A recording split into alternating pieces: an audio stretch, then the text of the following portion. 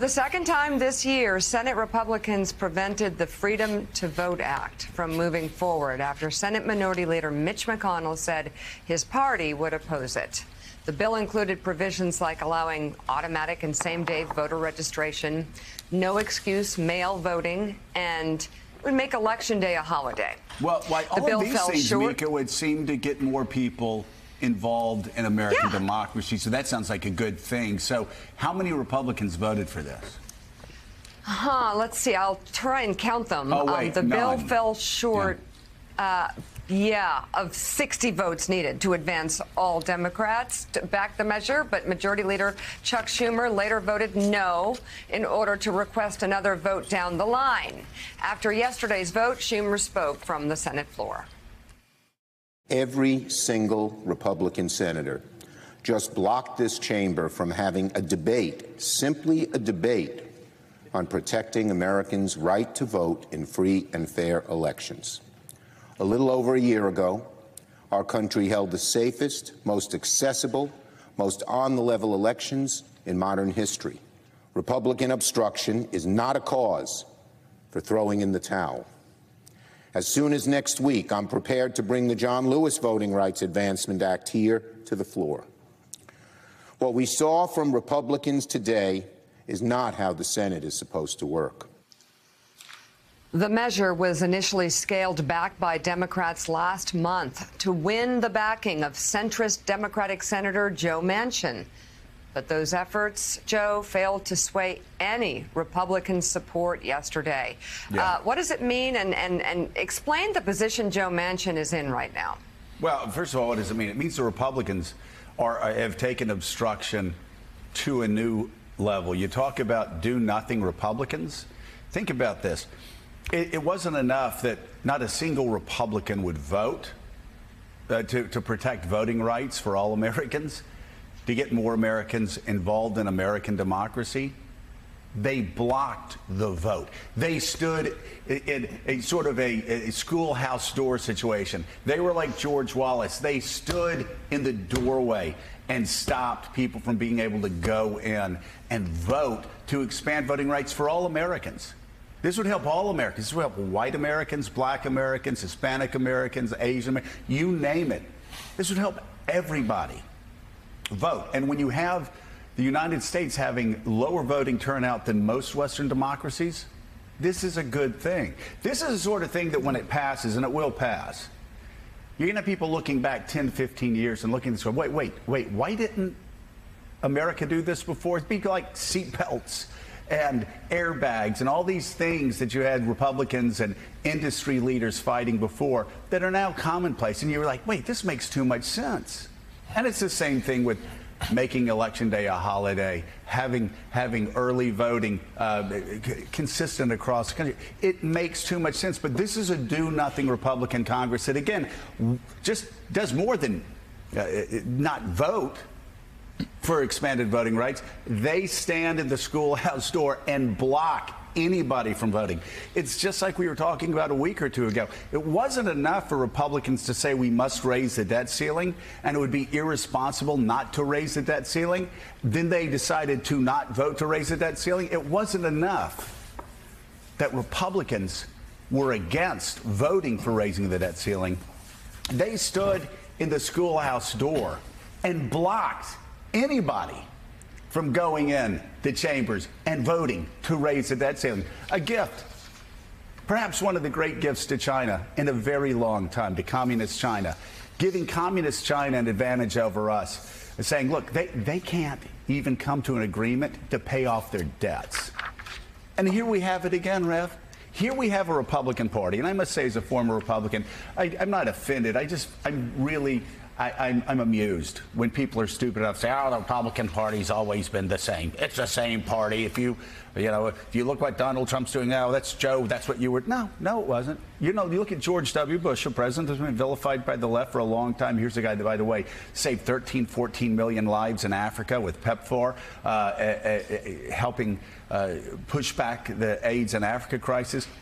Here's a guy after 9 11 that went to a mosque and said, These are Americans. We're not vilifying Muslim Americans because what somebody did overseas.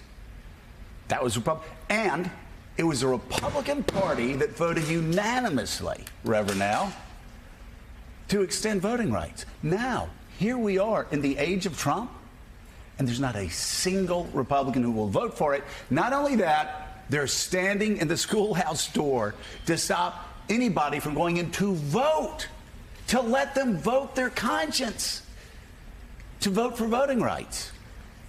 When 2006, which we showed this morning, when George Bush signed the uh, Voting Rights Act extension, I was in the White House lawn as a guest of George Bush, who was a vociferous critic of George Bush. Oh, yeah. But everyone united around voting rights. Civil rights leaders, we were there with him for that because voting rights is it's something everyone wanted. It's sacrosanct. It, it used to be sacrosanct That's before exactly the right. Trump Republican Party. What is so egregious about what happened yesterday is that Senator Manchin met with some of us, met with Martin Luther King III and I, and said, I will come with a bill that will be bipartisan. I can come with a compromise. He sat with seven other senators and crafted this freedom to vote bill. Which we can I just say for middle America, for, for, for me, for people who are, are conservative slash moderate, it's a really good bill. There was stuff in the first bill in HR one as drafted that I said way too extreme.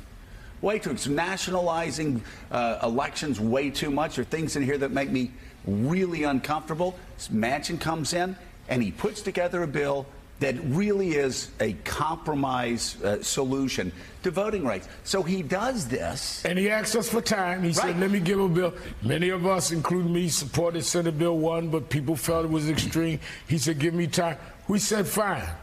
Yesterday, not one senator on the Republican side, not one, no, not a one, voted even to go forward to debate. It wasn't even the bill. It's that we won't let you even debate the bill as you say, standing in the schoolhouse door to block even the discussion. people to walk around in and it. debate it. They're blocking the debate. Exactly. They're blocking the vote. They're blocking. Richard, what does this say about uh, the Republican Party, uh, our, our, our former party, where they won't even allow a debate on a debt ceiling? They won't allow debate uh, on voting rights. They won't allow debate on any of these bills. Look, the debt ceiling is just pure cynicism since they had already voted for all the spending. What worries me about this, technically, these people could be Republican voters. Not technically, in reality. I remember, yeah, I'm old enough to remember when Republicans actually were engaging in the battle of ideas. You put out better proposals, people come out and, and, and vote for Republicans. That's the marketplace of, of, politics. The idea that Republicans are now are trying to limit the right to vote, essentially, it's almost as if they've given up the competition of ideas. Yeah. They basically say we can't win if we have a level playing field. So as a result, we are going to tilt the playing field and make it harder for people to vote. That is a really sad statement. And the fact that Rob Portman, Mitt Romney, people who know better, are supporting this is, to me, a really sad statement about modern Republicans. and Willie, let's always remember those names. People that will come out at some point and, and, and play a moderating uh, voice. Oh, I'm a moderate, whether it's Mitt or, or any of these other people that, again, have said we're going to help communist China by letting America default on the debt, by not just not voting to raise the debt ceiling, but stopping people standing at the schoolhouse door, stopping people from going into debate and vote to raise the debt ceiling. Let, let's make no mistake who they are and what they're doing now and what they just did on voting rights and what they're going to do next week on the John Lewis voting rights bill. And the names you just listed include Lisa Murkowski and a bunch of others. Theoretically, are the persuadable, the moderate Republican votes to get Democrats to 60 votes on some legislation. But Jonathan Lemire, Republicans couldn't make more clear that they're not going to lend a single vote to this effort to reform, reform voting rights, not just on this larger package, but as Joe said, next week on the John Lewis bill. So, what kind of pressure does that put on Joe Biden now? He has said we don't want to change the filibuster. That's there for a reason. It sets a bad precedent. Joe Manchin obviously said, I don't want to get rid of the filibuster. But we're hearing from civil rights groups, from voting rights groups, from Democrats that the only way we're going to get this through, and maybe it's a carve out just for this legislation, is to scrap the filibuster, get 50 votes, and pass this through. Do you think Joe Biden's mind has changed at all on that question? Well, certainly, Willie, the GOP, they are in lockstep on this. That, that Minority Leader McConnell has made clear there will be no votes. There occasionally you're allowed to vote your conscience there. No dissension on this one. But you're right. The pressure has really grown on Democrats and Joe Biden in particular. Yesterday, he put out a statement condemning this measure, the fact that it didn't even get to a vote. But nowhere in that statement was anything about doing a carve out with the filibuster. That, that that's still some, a bridge he does not want to cross. And we know that there are some in his party who join him, Manchin publicly, others privately. But we've heard from groups who say that this is not enough. This should be the central focus of your presidency. And the White House, to this point, has been has been disciplined, and they want to stay on the infrastructure and reconciliation packages. And we've heard from Biden telling Democrats that we'll have to out organize Republicans next year in the midterms which is not a good enough answer. And I want to ask you, Reverend Sharpton, you've been in these conversations, you've been in these groups. Should uh, Joe Biden be doing more?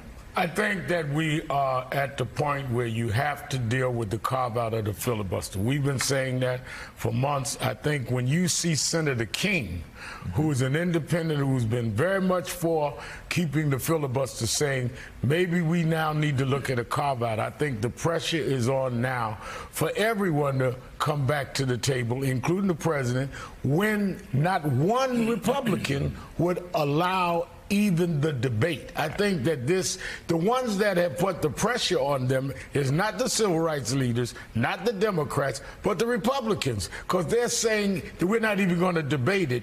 We're not going to give you a choice. And I think that the White House, I like uh, Vice President Harris came out saying we won't give up. We're coming out swinging, and and she's going to be dealing with the civil rights community on this.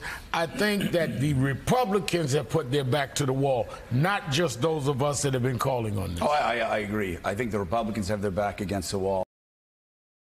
Hey, thanks so much for watching our YouTube channel. You can follow up on today's top stories and breaking news or catch up on your favorite MSNBC shows all in one place. Download the NBC News app today.